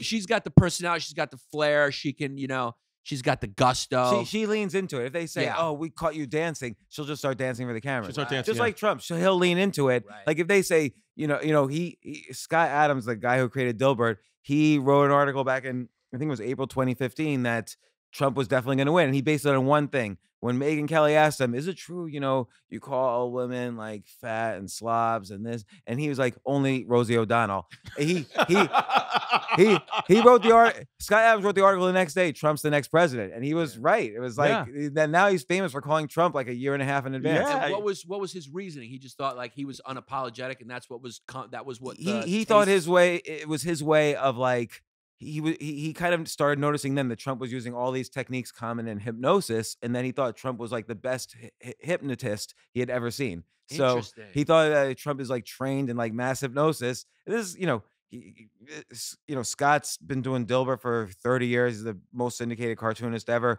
Yeah. But uh, he's also been trained in hypnotism. He's like, oh, I started noticing everything Trump does is like these pattern disrupts to kind of change the language of Right. how we elect people. So that's why he started saying um, lion Jeb with an apostrophe. Like no one's ever used that phrase in politics before. So he started calling everybody names that were visual and had never been used in yeah, politics before. Pocahontas. Yeah, Pocahontas. So you'd start like remembering. That's the only thing you would remember. He would basically train our brains to remember only these one things. Who do you think's going to win, James? I think Trump because who, as Scott Adams also said, I hate to be quoting him on every single thing, but who? It's not like Trump versus any Democrat. It's Trump versus a human. So who's going to win? Like Biden can't actually say a word out loud, or he's like, you know, he's like one step away from going too far into a woman's hair. Right. Bernie Bernie Sanders, we don't know if he's dead or alive right now.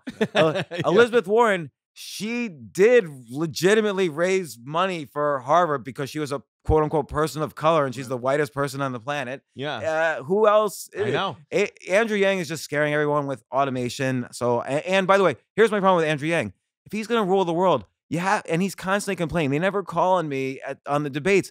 just raise your hand, interrupt the other people like everyone else does. You can't rule the world if you can't interrupt Bernie Sanders. Right. And so who else is there? Right. I know. And I, I feel too like even, you know, like last time in 2016, you know, because like New York, obviously, and you know, New York, LA, they're like little islands off the coast of real America. I had just I was performing in um in Indianapolis two weeks before, and I had done like some like Trump joke. I forgot what it was, but I remember people were like pissed. Like it not only did it bomb, people were walking out and they were like really fucking, you know, love Trump. And then if you said anything about Hillary, you know, people like, yeah, they kind of would be like, yeah, that's fine. So like when I when I went back to New York, I was like, I got a good feeling he's going to win. But then when you you know sit around with the comedians, they're like, there's no chance he's going to win. How could he win? Because you're just really feeling New York City. But the middle of the country, which is the only one that counts, was like, no, no, no, we this is this guy's talking to us. So I get it, and I just feel like nothing's changed. I feel like it's even gotten worse. Like I know certain members of my family who are very who are more liberal, or I would say on the fence when that Joe Biden stuff happened with the with the one of the women in my family. She was like, "Why is like so what? He fucking touched a woman. It's not like he raped anyone." She's like, "I'm sick and tired of everyone being deemed a rapist because they flirt a little bit." She's like, "Fuck, fuck them, fuck the Democrats," and I'm sure she's going to vote for Trump now. So it's like you know, it, it sometimes this shit backfires when you try to like you know make everyone like this bad person for doing like kind of normal things. You know? Yeah, well, look at uh, Al Franken. Uh, you know, Sure. was, was you know now they the reason Kirsten Gillibrand's out of the race is because she was leading the the the the charge that Al Franken should resign from the Senate. Now they all regret it because he was probably the only honest, yeah. decent guy there. And I don't. I'm still not even sure what he did. Like he did something in a USO was, like, tour. pretending to yeah. yeah, in an entertainment boob. show. Yeah. Yeah. So I mean, Like, everybody saw the herself picture. Didn't even care. yeah, right, like like in everybody, the entire world, it was it was a USO tour, like Yeah. for America, like Yeah. where he where he volunteered to like perform in Nobody cares Iraq. about that, Yeah. Yeah, he, Well, got I think caught, that- he was a Me Too casualty. Yeah. I think because of the because of the um internet now too, like people like things are happening. Like, you know, I just saw the other day that, you know, like Andrew Yang's wife came out and said that she was like molested by a gynecologist, and that's all sad and horrible. But like you know that it's putting they're putting it out now for political reasons, and people see through it now. People that I saw on when they when he put it out, all the comments were like, This is political bullshit. It, but they were saying the same thing, like, sorry for your wife, but like this is gonna make me vote for you, guy. So it's like it's all been like everything is for show now. So now it's like there's no values at all anymore. So then that leads me to believe, well, then Trump will win again.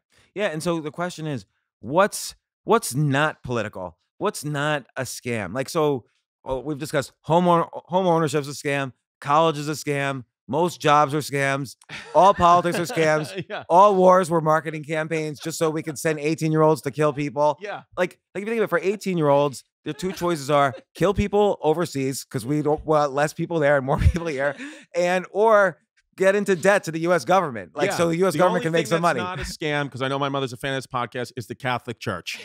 The Catholic Church is pure, mom, and I love you, and I'll see you at church on Sunday. Well, I think ultimately, ultimately, uh, it's not all one thing or the other, and that and that's that's kind of the thing that I think that's really been lost in our education system, and I think that's ultimately why we're going to fail as an empire, is because the reason why we're propping up these idiots now and we need to be entertained by cats farting and whatnot is because it's our, our education system has collapsed. I mean, it's like it's just shit, and um.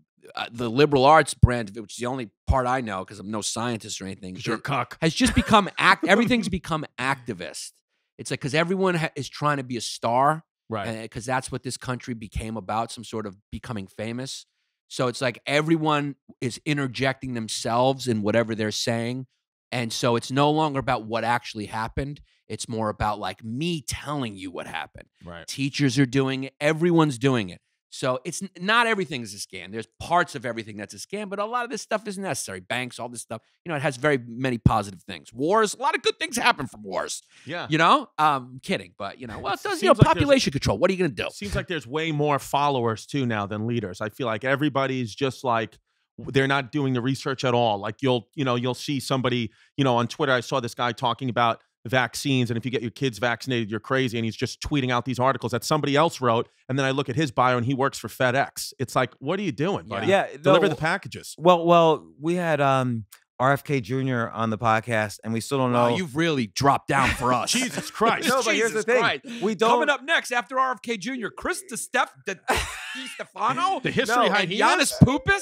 No, but here's the thing. I was really wondering beforehand what was going to happen if he goes on a 15 minute rant about vaccines because he's really anti-vaccine. Yeah. And you can't argue with somebody Sure. because they've got no matter what you say, there's like 17 arguments that they've spent 20 years studying, which you can't. it- even if it doesn't make sense, even if you know what the truth is, they have some agenda or or they're crazy or whatever. So we don't even know what we're gonna do with this podcast because he went on this 15 minute rant that was just when I fact check it later, everything he says is wrong. It's just insane that people that it's so clear that diseases are eradicated after the vaccines Sure. introduced. And and he was like, no, no, they're not tested by the FDA, which is not true. And he's going on and on and on. But again, he has a whole foundation. He gets popular. He gets Yeah. you know married to famous actresses because of this. And and uh, you know who knows what his It's just agenda a is. group of followers. I it's mean- like my dad has an eighth grade education. Like he was in and out of jail. Like he's an eighth grade, truly, like not you know street smart guy, but not academically smart at all. And when Twitter started to get big or come out in 2009, 2010, because I remember I would just started comedy. We were sitting in Staten Island, and he was like, "You see this Twitter bullshit that's going around?" I said, "I said, yeah." He goes, "Do you have one?" I said, "No, not yet." But I'll probably get one. He goes, Yeah. He goes, This is going to be a big problem for our country. I was like, Why? He goes, Because not everyone's supposed to have a voice. He was like, The worst thing you could do in this country is let everybody talk. Yeah. And I was like, this, He's not wrong. No, you know? totally right. And since Yeah. we're all we're, we're all living in a period of extended youth now, like you know, uh, everyone wa- doesn't want to grow up or like sacrifice or do anything like that. So now the way we still we kind of like consume things and and, and espouse things as kids, it's like very childish views of things where you just go like the Korean War was bad, Yeah. or you know Vietnam was bad. It's like, well, there's a lot of, you know, it, it's not two plus two equals four. It's like the Korean War, was it bad? I mean, like, why don't you go ask people in South Korea if it was bad? Right. because they'll tell you it was great that we Yeah. held that line. You know what I mean? So it's like it's all perspective. It's like, uh, Yeah, cancel Christopher Columbus. Yeah. Okay, then then we don't have a country. yeah, He, he's like- the one that, you know, It's, it's, like, it's what do you want me to do? What we did to Japan was bad. It's like, yeah, that was bad. yeah. But you know what Japan did to China yeah, you ever heard of the rape really bad. Nanking? Yeah, I What- mean, it was you know? really, really. It gets overshadowed, but it Yeah. was like it was. They did a lot of boo boos. It's like, oh yeah, why did you drop a nuclear bomb on Japan? That's wrong. But you know, Japan was uh, bayoneting babies and spit roasting them, fire roasting them in front of their Chinese parents. So Yeah. is that okay? They did a couple boo boos. Yeah, they yeah. left a couple boo boos Yeah. in China. So it's like, That's why I don't eat sushi. yeah. They're still the enemy to me. So no, I was gonna question on No Italian food. disrespect to the guy over there, even though I, I- know you're not Japanese. I was gonna question on Italian food. I put up sushi with Italian food, but okay, I see where you're coming love from now. sushi. Yeah. I love sushi. no, I like sushi too. I love- yeah. Sushi's number two for me. I go I go Italian first. Then sushi. sushi. Well, because you're fucking you're an enemy. Yeah, but Yeah. but, The it- state. but it, but but look, but look, if you're going keto, Italian food's hard. Like you gotta have pasta. hard, yeah. Pizza's hard. I know. So- I, that's why I just rather have jiggly tits and eat Italian food. yeah. Yeah, but so, but this is what we talk about, and this is what we love talking to guys like you about, because it's like you, you know, because you talk to some of the younger people, and they they're like RFK Jr., where like you can talk to them, and they just don't care. Their professor told them something, and that's what they're going to go on. Where it's like, but there's so much more to the, these conversations, you Well, know? now it's like if you're a professor and some kid, like you're in a history class and some kid goes like, you know, it's like fucking white people are racist. The, the professor can't go, well, there's more to, you know, you can't just, because then they're going, you're racist. And you're going, okay, hey, here's an A. Here's, I don't want any trouble. Here's a fucking A. You're right. Uh, you know, 100% of European people killed 100% of Native Americans. They've enslaved 100% yeah, of the Africans. didn't have anything to do Africans with it. never did anything wrong. Asians never did anything wrong. It's only white people who have some evil gene. You're right. And they're like, thank you. Give me my A. And now I'm going to move to San Francisco and fucking tweet at people. Yeah, now I'm gonna go do fucking open mics at the comedy store. It's this fucking fantasy of activism that has become the world. I mean, even and comedy. It's, di- it's enabled digitally. Now Like- it's like he said, everyone has this voice and they just fucking masturbate to each other. And sorry, I did the motion for that was for the people who were watching. Yeah, yeah, yeah, that was yeah, for it's you. a circle We get, we jerk. get three video views and uh, a couple hundred thousand audio views, so it's okay. Yeah. All right, good. But it's like even these comedy specials, you know, like the extremely liberal ones, like they're not funny. They're TED Talks. Yeah. It's like I watch some of these specials to put my daughter to sleep. Yeah. It's like this is brutal, this bullshit. And you got and it's like, what do you and it's like I know comedy is subjective, but it's like Not that subjective. not that subjective. Well, let me like, ask you this. I can tell you this isn't funny. But like, how many Netflix specials? I hate to trash Netflix, but here we go. Yeah. How many Netflix specials have you actually watched? No, Like, not not, not I watched. many. I watched in the past I year. watched I- Chappelle. yeah, I watched Chappelle, and I just watched Ronny Chieng's, I- and uh, I don't know of any others I watched I've watched. Michelle Wolf's too. I like because but Yeah, she's yeah. a friend of mine, you know? Uh, I watched her show until Netflix canceled it. yeah. Um, but you know, speaking of you, you mentioned climate change. My, my kids are obsessed with climate change, but they focus on they, they take that focus and then focus on well, Dad, no more plastic straws. We got to get metal straws. Right. And I'm, I, you know how disgusting metal straws are, Yeah. and like you have to disinfect the inside, and and to make a metal straw is like ten thousand plastic straws. But January third, when Iran was in the news, the, the they didn't care about climate change at all. They just wanted to know if they were going to be drafted. Right. So Yeah. it's like people don't actually care they unless don't they're care. arguing. Ask a 20, a 19 year old kid in Syria if they'll use a plastic straw. They'll, they'll fucking use whatever it takes. They just want food, man. Right. Because they're getting chemical gas attack. They don't care about what bathroom goes for the gender. They're like, these are these are pro- these are first world problems. You know, and, we and don't. plastic straws is the least of the problem with climate change. Right. It's like we got to get off fucking gas. Yeah. Well, or and then you know everybody's first off, nobody complains about China because China's double the pollution or whatever of us. But but but then like someone asked me in this Q and I gave a talk, and then someone asked me in a Q and A, why do you never talk about climate change on your podcast unless you're talking to the history hyenas now? He it said. "What?" And and I had to think about it because I and I answered, I actually don't give a shit because there's only so many things you can care about. Like I care about my kids, I care about my family, I care about my Yeah. friends and podcast and and and my own work. You can't care about every issue, particularly if you're not, eh, you know, it's impossible. Right. And and also, I, and also, everyone says, well, 97% of scientists agree. Well, that doesn't mean anything. 97% of scientists in 1800 didn't think you should wash your hands before delivering babies. So, yeah. you know, well, what do you? You Right. don't know. No one knows the science. And eh, okay, maybe we're getting warmer, maybe we're not. There's I've seen arguments on both sides. Uh, I don't know anything about it. I'm not researching it. I actually don't give a shit And about I it. I think you hit I think you hit it on the head. I talk about this a lot in my stand up where I'm like, now that I'm a father and I've, you know, I have a 4-year-old daughter, it's like my world's gotten so much smaller. My child is my priority. So I care about certain issues, but really not all of them. But now that people I think it's a direct correlation, people delaying having children because now they'll say, you know, 40 is the new 30, 50 is the new 40. Like our parents, my mother had me when she was 20 years old, and that was normal. And I'm sure our parents had us when we were extremely young. Where now it's now I had my daughter at 30, and people were telling me, "Oh, you're too young to be a dad." So it's like, what is that happening? We're growing up, we're learning all this information, and we have no, you know, we're sitting around with our roommates, you know, at, in our 30s and 40s, just trying to fix the world. Where it's like, when you have a child, it's like I'm aware now. Like I see it. I'm like, yeah, plastic straws versus paper straws. The paper straws don't work. So my daughter, eh, she needs to get the liquid into her mouth. So the paper straws are not going to cut it for me. I just give her a plastic straw. I don't care because the priority is to get the kids nutrition into her fucking face. But I get it if you're some guy that's 60 years old and have roommates, you know, you're going to be like, yeah, if you use plastic straws, you're an ISIS. Of course.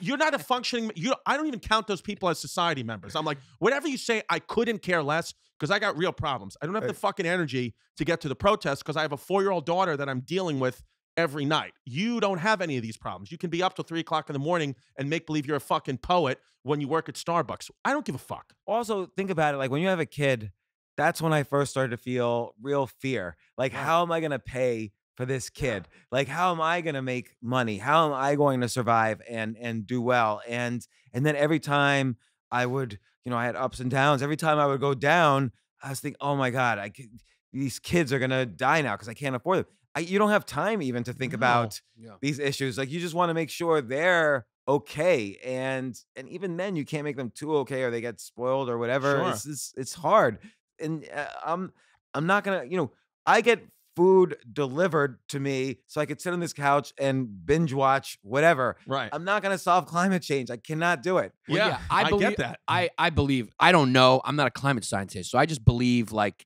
if there's a consensus out there and that's what scientists are saying, it's like yeah, I believe it. But it's like yeah, stop yelling at us about it. What are we gonna do? What Right. What am I gonna do about it? Right so like, Figure it right, out. i'm not even saying it doesn't exist like maybe it does maybe Make it a doesn't vaccine for it. I don't know. You know what I mean? Put Yeah. it put it in. A, I don't know what you do. I don't know what fucking voodoo you guys do that made like polio vaccines and, and technology, but fucking do it. Yeah. Figure it out. Stop yelling at us. It's like Yeah. you know, just let the market figure out a better better straw because the paper straws they don't work. So make a straw out of like I don't know, fucking cat urine or something.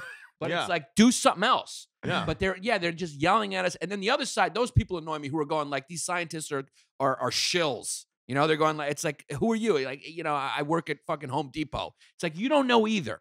So it's like if the people are researching this, I'm going to put my money on the people who who research this because if you look back in history, it's never really the scientists that are trying to like you know pull one up on us. It's usually an industry that has an interest in prolonging whatever it is that they're discovering. So it's like I'll put my I'll, I don't know because I'm a fucking idiot, but I'm gonna I'm gonna bet on the the scientists are saying what the scientists are saying has more truth to it than you know what what um Gary Sixer Niner from Michigan, Wisconsin tweeted at me. You know, they're Yeah. like, "Oh, you believe these scientists are doing it for the funding?" It's like, all right, I, I guess you know. Yeah, sure. But you know, I, I was looking at this book.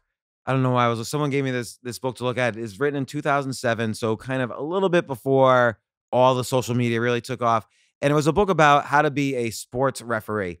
And this guy was saying, "Oh yeah, so Steve, Steve, I outsource all my sports conversations to Steve. Yeah. But uh, this James Altucher fucks. You know that. if he's reading books about sports referees, that guy has sex every fucking night, and you know that. You know that about James Altucher. could be true. I don't know. Uh, I'm knocked out every night by my wife, so who knows? Um, but uh, this guy was saying about being being a good sports referee, even from a legal point of view, do not argue with spectators. And I thought this was a fascinating point for now because we're all everybody on Twitter is like a spectator. To your point, like okay, let the scientists talk about it and, or industries figure it out, but then everybody, all the spectators are arguing. And he said. Whatever you do, the, the, the whole page is if you take one thing from this book and he puts it all in caps, do not argue with spectators. And he's just talking about football games. And he says, watch a referee who makes a controversial call when all the fans are screaming at him. It's as if he's deaf, as if he doesn't hear at all. But he could have he could be totally talking about 2020 Twitter or Sure. Facebook. Like everybody's a spectator on climate change, Iran. Suddenly on my Facebook feed, everybody was an Iranian general on Oc- on January Yeah. 4th. Like we didn't know anything. I didn't even know who Soleimani was on January 2nd. Yeah. But Yeah. everybody was like, Yeah. "Oh, was like Trump. What Trump did is bad. You're like, you don't even know what you're talking about. You just hate Trump so much for your own identity that you're just whatever the guy does, you're going like it's got to be bad. You're like, "Uh, who knows? You don't know. Yeah, we You just don't no know. idea. Yeah, you're not privy to this information at all. I feel the no same idea. exact way as you, and I've, uh, you're like one of the first, obviously besides Yannis, that it's like publicly I can talk to, and I'm like, yeah, I fucking agree with you. Where I'm like, these people don't know what they're all followers. Yeah. They're just following what they think this identity politics is supposed to follow, and it's like it's so bullshit to me. Yeah, because I went and read like some other feeds from like some experts who are like, you know, on the ground, like muckraking journalists who are in the Arab world, and they did these amazing threads on why he was such a dangerous guy. And I was going like, that's totally opposite from what I'm hearing in the mainstream media over here. Yeah, That's kind of anti-Trump. And so I'm going like, you guys don't know. You guys are hearing 10th, 20th yeah. hand on who this guy was, and these people are telling you, "Hey, this is who he was." Blah blah. And I'm going like, this is a lot more believable. Uh, at the end of the day, like everyone's got their spin on it, and you just have to use your own critical thinking and common sense, street smarts to figure out which one of these things has more truth. Nobody has it anymore because it's too safe of a world. right." It's or, too safe of a or world. not Nobody think can about think it at all. Yeah. Like, Or why I do just don't. Yeah, why, Yeah. why? If if I'm not going to Iran to fight a battle, and if there's no nuclear weapons happening here, I really don't have to think about it. Yeah, like, Right. I'm not gonna. But then how change will you anything. look cool to your friends though? right. Yeah. Well, then I, I have very few friends. Like they all, you know, or they're all Yeah. right in this room. So But that's why people do it, I think, is because they want to look good to that group. They want it's a virtue signal. Sure, they want to be virtue like, you know, I am I would never ever approve of anything Trump did because he's a monster. Right. And he was a monster the first day in office. And Hillary was the white the white knight white knight in a white fucking business suit. yeah, with hot sauce. Yeah, it's like, was she really? That that just shows you how bullshit this world is. It's like, all right, Trump said some horrible things, unbelievable, entertaining guy. He said some horrible things, meaning like some sexist things or whatever. Maybe he even, let's just say he even was like a little overly aggressive with a woman. Very bad, very bad. But Obama, who I thought was a good president overall, net, uh, fucking leveled countries yeah, and killed people. yeah, Hillary, fucking Syria, it's all her fucking fault. She's killing everybody. yeah. She's fucking killing people. I know. And it's like she's great, but he's bad because he said some weird or bad stuff. it's the entertainment world. I mean, wh- what are your priorities? Yeah. Well, mean, because the media that how much does it mean to you to be in a gang that you just don't have any thinking skills anymore? You know? right? Well, it's because the media, I mean, is controlled, right? It's a liberal media that mostly controls it all now. Yeah, he's looking at you going, I know what you're getting at. I know where you're getting So at. So it's like- yeah, no, but here it's it like- comes with the German face. The But Jews just- control the media. They control it's your people. Yeah. So it's on both sides, though. yeah. The Jews are everywhere. I So- know they're everywhere, and that's got to stop. No, I'm kidding. yeah, You No. guys get it so bad. I mean, I, it's nobody I feel worse than the Jews. No matter Yeah. what happens in the world, somehow the finger just fucking finds its way like fucking the magic bullet that killed JFK. It just kind of go. You could be like in Chinatown beating a Chinese person and going, "I did it, I did it." They go, "No, he did it because he's a Jew." Yeah, I It's- mean, it's true. it's Look at New. York City right now. It's like every single day there's some Yeah. some like violent attack. No one's. I know. I So you- mean, you know what it is? is- You guys don't proselytize, so it's like I realize that We don't want anybody. Yeah, people hate you for the same reason I hate the Cellar because they won't book me. You know what I mean? So it's like they always blame Jews because Jews don't want you, and you always hate the thing that you don't want because it's narcissistic projection. You know what I mean? Right. I And it's it. like, and you know what's funny? He's like these like, Tim Dillon. This is to steal another Tim Dillon thing.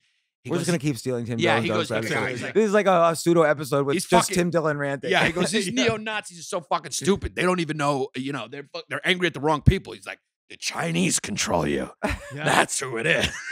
And it's true. like, you're going. The Jews are replacing us. No, No. Chinese. No, one of my one of my friends was trying to sell his apartment, nice, beautiful apartment, and he can't get the money. He can't get the deal he wants, and he said his realtor told him, like not sugarcoat. He told him word for word. He said you can't get the price you want because there's not enough Chinese money in this building. There needs to be more Chinese money that comes in here where they're buying things for the higher price, and then Oh, you can get what you totally want. true. To Chinese money, Yeah. if it's not in the building, you can't sell. Particularly in New York City, particularly in Manhattan, it's all that's the whole thing holding up real estate prices right now, according to every real estate agent. So Yeah, the Yeah. Chinese money. Yeah. What can you do? They've kind of, yeah, they're they're holding up the whole like market. Like it's like uh, a, a lot of those buildings are just vacant. because right? it's a Like, way it's a way for people to escape their money, to get Yeah. their money out of here, and then eventually they can get out as well, and then send their kids to Georgetown or Harvard or whatever, and Is but they have also- to have a place to live here. also a way to, to hide their money for Yeah, yeah. taxes. to So hide their money from the Chinese. And Right. uh, if they're ever persecuted, and there's always government shifting around and who's in Sure. favor, who's not. So, uh, uh, yeah. That, that's the, like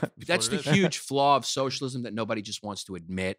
Like as adults, it's like I, I socialism. I think is a very necessary, uh, you know, um, check on capitalism. You know, I think it, it, it you got to balance things out. But like y- y- these these socialists, they're just going like, you know, they, they're just utopian. It's like this is this this is not a new story, and it's like you do know what the nature of a human is, right? It's like we are selfish. It's just what it is. And nobody wants to pay taxes. Even the most liberal people, when they go into their accountant's office, what are we all trying to do? Figure out a Uh, way to IRS, tax I know we have a payment plan. Don't worry. I'm going to get to it. I know I'm a, a couple months late right tax now. evade. That's why that's why Greece collapsed. It's like everyone wants the benefits of socialism, but nobody wants to fucking pay for it. It's like I want my free healthcare, but I don't want to be taxed for it. Well, then it's like this isn't going to work. Then you got to chip in to maybe get those benefits if you get sick. Nobody wants to do that shit because we're too selfish. Let's just stop fucking. Let's stop pretending. Everyone's pretending. I don't Well- want to pretend anymore. But look at look at like Brexit. That was the reason the British wanted out in the first place. No one really focused on kind of the economic the economics of what Brexit was about, and everybody said said no, this is about fascism. This is about uh, you know Immigrants. Yeah, yeah, But they just they didn't want to pay Greece's debt down, so it's like keep Right. us out of that. It's not our problem. Right, right. so and yeah, okay, it would be nice if everybody could help everybody else, but sometimes you can't do that. They didn't want to do that. And I think there was a little they wanted to kind of close that immigrant faucet. They were like, yeah, there's a leaky faucet. Let's just close that. Yeah. But, Yep. it- Yeah. but then but then you would see France getting out, like all these countries are. Well, who knows? The EU might fall apart.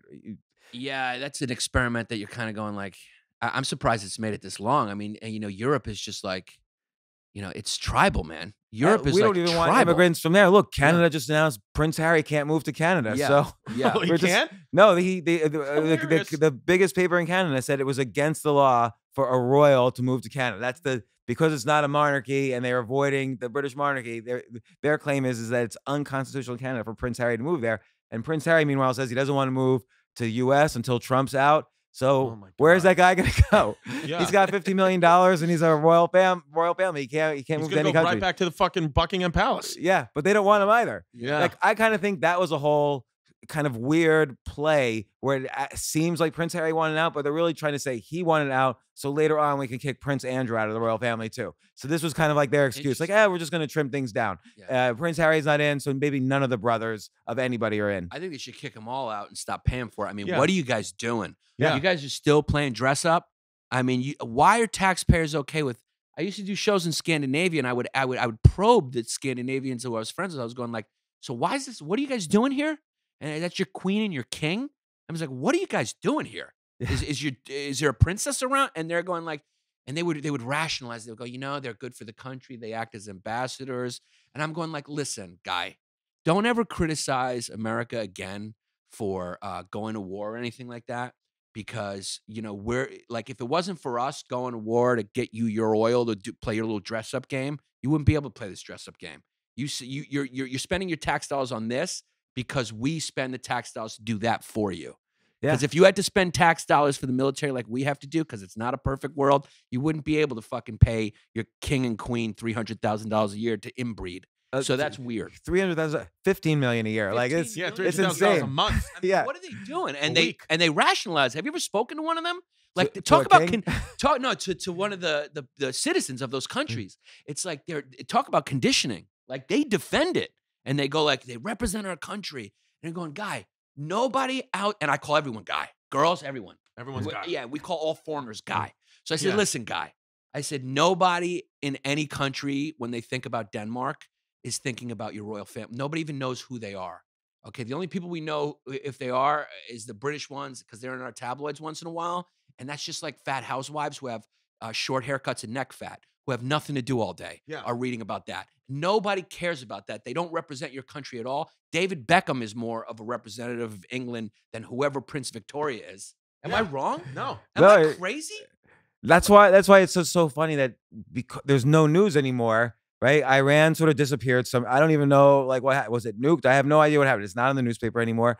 And Megxit, you know, Meghan Yeah. Markle leaving England. That's the only thing in the newspaper right now. Yeah, I- that and the impeachment. Oh yeah, I forgot about that. That's Yeah, the yeah, impeachment. like, but This that's li- like this that's little gonna go nowhere Yeah, anywhere neither too. one of those Yeah. things are fucking going anywhere or significant. That's the only significant thing.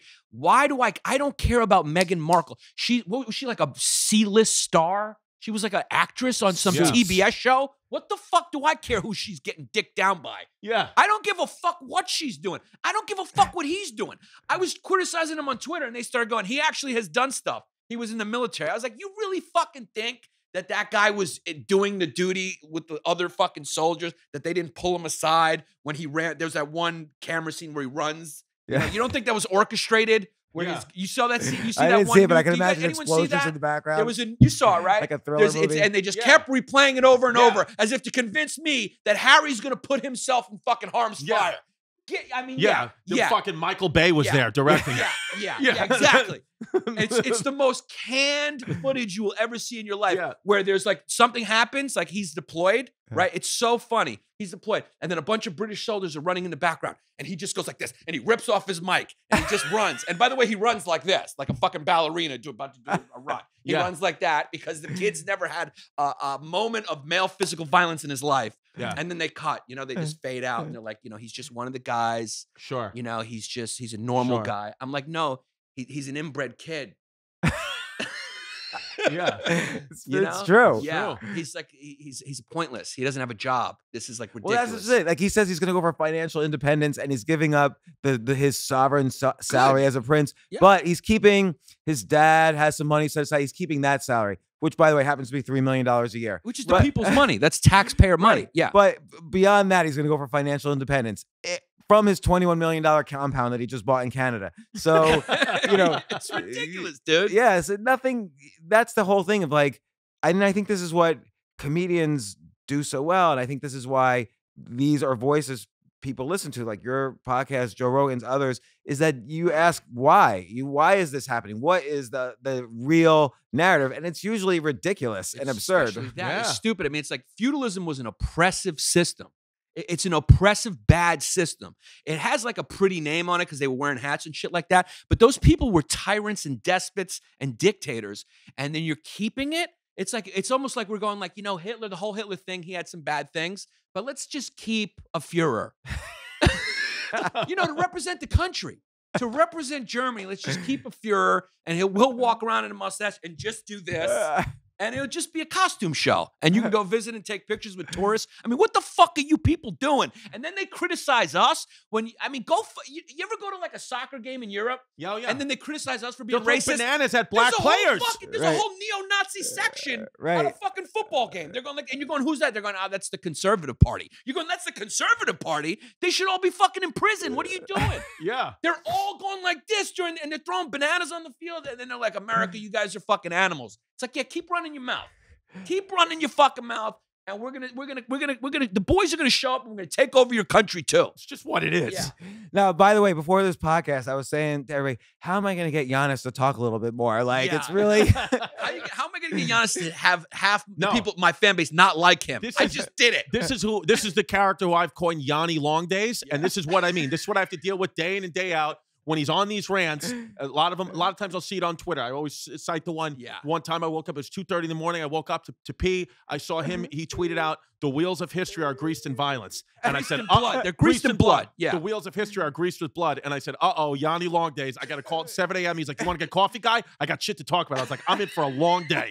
I got a long day of this because this is what I deal with every fucking I day." I try to corner him and like I gotta get stuff on my mind. That's why our podcast, he'll go in to do stuff like that. And I'll just be like, I'm silly. We're silly. Yeah. Because Before he fucking starts a movement. And he try. It's funny because he tries to get off the phone with me. It's real hilarious because I'll be on a rant, and, he, and he'll just be, he'll be like, "Oh my god, my daughter's dead," and then he just gets Yeah. off. Yeah. hey, that's what's important. It's Yeah. not. It's not all the blood. It's in the plastic straws for his daughter. Exactly. So- Yeah. Uh, Yeah. So Well, you guys, uh, I know you're you're doing like a live podcast at like three o'clock today, right? Uh, yeah, yeah, yeah. We're doing that three. Yes. So, well, thanks for making Yeah. the time to course. come up here. Uh, we've been looking forward to this so much, and we great. almost feel like we're obligated because you support us. Thank you very much. yeah, Thank you so much. no, no appreciate it, problem. Yeah. Yeah. And uh, come back anytime. Also, and I'm going to be going on yours. I think in February, right? Can't wait to Uh, have s- February. It's going to be great. Yeah, I, I, uh, we're going to talk history Hell yeah. for three minutes, and then we'll just uh, just rant fool ab- around. Yeah, We'll rant about the monarchy. excellent. Yeah, it'll be part two of this, Yeah. which is fun. Yeah. Excellent. All right. Well, History Hyenas. Go to patreon.com slash Bay Ridge Boys. By the way, also, I want to mention check out all your Bay Ridge Boys sketches and Ladder Yes. 14. There's so much fun stuff you guys put out there. Bay Ridge Boys, that could be a TV show. That's uh Thanks. We hope has it will be. anyone has anyone said to you, hey, pitch this? Uh, funny. We have, and nobody cares. Yeah, nobody so, cares, you know, yeah. like, because the TV executives are a little late with stuff, Yeah. but hey, we're going to keep putting them out Yeah. and see what happens. We've Yeah. had some feedback, like the people love it, fans love it, but we've had feedback that like, ah, we've seen that before. It's like, no, you haven't. No, you but, haven't. yeah. No, Executives it's, just don't yeah, want they it. haven't seen it before. It's super funny. I watch that over Succession any day. Oh, Oh, appreciate Sorry, that. man. HBO. I worked at HBO. this HBO's a sponsor of this podcast. is okay. But uh uh Bay Ridge Boys is great. And um something else uh I wanted to mention you do. But anyway, Blowing the light, my Good. special. Check blowing that the out. light.